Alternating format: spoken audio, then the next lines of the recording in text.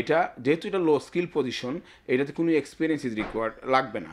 But যে main জিনিসটা হলো তারা কিন্তু যে কেউ ইচ্ছা করলে হোম অফিসে অ্যাপ্লিকেশন করে আসতে পারবে না। এটা আনতে হবে একমাত্র কেয়ার হোম যারা এই দেশে রান করে তারা এবং তারা তাদের লাইসেন্স থাকতে হবে হোম অফিসের কাছ থেকে। সেটাতে one of the mandatory point হলো ইংলিশ ল্যাঙ্গুয়েজ রিকোয়ারমেন্ট এবং এইটা যদি কারও না থাকে তাহলে এটা চেষ্টা করেও কোনো লাভ নেই। ভাই আমরা যে কেয়ার ওয়ার্কার যে ভিসাটি মানে শুরু হতে যাচ্ছে বা শুরু হয়েছে আসলে এটি কি এবং কাদের জন্য এবং কীভাবে অ্যাপ্লাইটা করতে হবে? আচ্ছা আচ্ছা। যে কেয়ারার যে পজিশনটা এটা হলো স্পেশালি এটা লো স্কিল জব এটা স্কিল না। এবং গভর্নমেন্ট যে স্কিল ওয়ার্কার রুট যেটা ভিসাটা লঞ্চ করছিল লাস্ট ইয়ার থেকে টোয়েন্টি টোয়েন্টি অক্টোবর থেকে যেটা, সেটাতে already R QF level three পর্যন্ত ডাউন করা ছিল। কিন্তু ডাউন করা থাকলেও কেয়ার হোমের বিভিন্ন পজিশন এটা কাভার করতো না। যেমন সিনিয়র কেয়ারার কাভার করতো, তারপরে অক্সিলিয়ারি নার্স কাভার করতো, বিভিন্ন পজিশন কাভার করতো। কিন্তু কেয়ারার যে একটা একটা লো স্কিল পজিশনটা কাভার করতো না।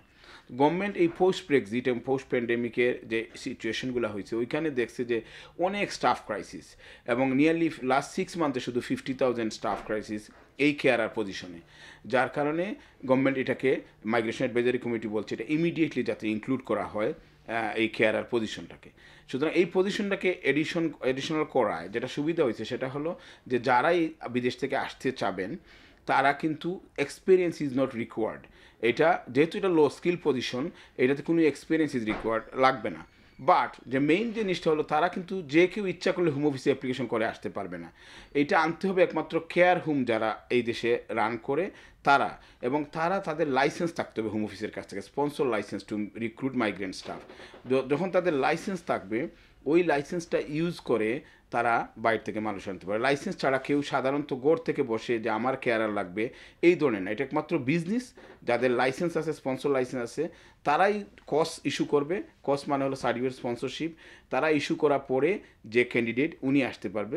বাট প্রোভাইডেড যেহেতু এটা লো স্কিল ওনার এক্সপিরিয়েন্স লাগবে না। বাট ম্যান্ডেটরি কিছু পয়েন্ট আছে এজ ইউজুয়াল প্রত্যেক ওয়ার্ক পারমিটের মতো আগে যে ওয়ার্ক পারমিটের মতো ম্যান্ডেটরি পয়েন্ট আছে, সেটাতে one of the mandatory point হলো ইংলিশ ল্যাঙ্গুয়েজ রিকোয়ারমেন্ট এবং এইটা যদি কারও না থাকে তাহলে এটা চেষ্টা করেও কোনো লাভ নেই।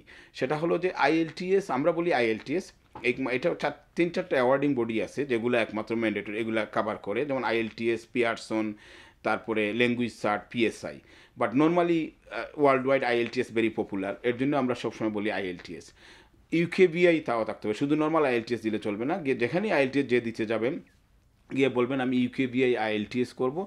এবং আইএলটিএস এটা আবার আছে কয়েক ধরনের। এটা বলে আমরা যে, এই যে ওয়ার্ক পারমিটের জন্য আইএলটিএসটা হলো জেনারেল আইএলটিএস এবং এটা শুধু স্পিকিং লিসেনিং এটা চারটা কম্পোনেন্ট আছে। সেটা হলো স্পিকিং লিসেনিং রিডিং রাইটিং প্রত্যেকটা কম্পোনেন্টে মিনিমাম ফোর স্কোর করতে হবে।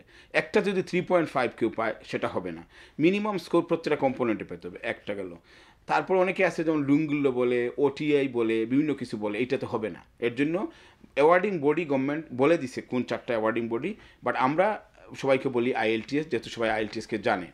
এইটা হলো ইংলিশ ল্যাঙ্গুয়েজ রিকমেন্ড এটা ম্যান্ডেটরি পয়েন্ট এটা না হলে আপনি যতই কেয়ার হোম পান, যতই লাইসেন্স কেয়ার হোম আপনাকে অফার করুক, আপনি এইটা না হলে আপনার ভিসা হবে না। কারণ এইটাতে টেন পয়েন্ট ম্যান্ডেটরি মেনটেন্যান্স একটা পয়েন্ট আছে। এটা আবার এমপ্লয়ার যদি চায় যে, তার কসের মধ্যে লিখে দিবে, তাইলে একটা এমপ্লয়ার কস দিলে আর একজন ইংলিশ ল্যাঙ্গুয়েজ রিকোয়ারমেন্ট থাকলে, এই ভিসা পাওয়া ভেরি ইজি কারণ এটাতে এক্সপিরিয়েন্সটা শো করতে হবে না, কারণ যেহেতু এটা লো স্কিল আমি আগে এক্সপ্লেন করলাম।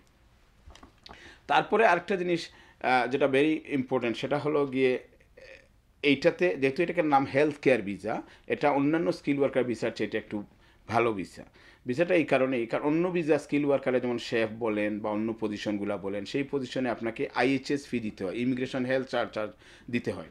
সেটা six hundred twenty four times হয়, যদি থ্রি ইয়ার ভিসা হয়, আপনার এইটিন সেভেন্টি টু হয়। বাট এই ভিসাতে কোনো আইএইচএস গভর্নমেন্ট নিবে না। সুতরাং এখানে আঠারোশো বাহাত্তর পাউন্ড ফিজ লাগতেছে না। তারপর এন্ট্রি ক্লিয়ারেন্স ফির ক্ষেত্রেও অন্যান্য ভিসাতে entry clearance fee six hundred something হয় কনভার্ট করে ডলারে যায়। এই ভিসাতে two hundred thirty two pound যদি কেউ থ্রি ইয়ার্স ভিসা হয়। তো এটা হলো ফিজ কিন্তু অনেকের ধারণা যে এই ফিজ দিলেই লন্ডনে আসা যায়। না, এটা হলো তার এন্ট্রি ক্লিয়ারেন্স ফি কিন্তু এমপ্লয়ারের একটা কাজ আছে। এমপ্লয়ার একটা কস ইস্যু করতে হবে, তার লাইসেন্স থাকতে হবে। সে কস ইস্যু করলেই ওই ফিজটা দিয়ে একজন আসতে পারবে। এবং এইটা কিন্তু টুয়েলভ মান্থ এটা পাইলট স্কিম গভর্নমেন্ট করছে। এটা টুয়েলভ মান্থ রান করবে। টুয়েলভ মান্থে তারা প্ল্যান করতেছে ত্রিশ হাজার লোক আনবে ওয়ার্ল্ড ওয়াইড এবং তারপরে যদি এটা ঠিক কাভার হয়, তারপরে হয়তো এক্সটেন্ড করবে। তার মানে এটা না যে বারো মাসের ভিসা পাবে। ভিসা কিন্তু সবাই তিন বছরে পাবে। মিনিমাম তিন বছরে নিতে পারবে। কেউ চাইলে একবারে পাঁচ বছরের ভিসা নিতে পারবে।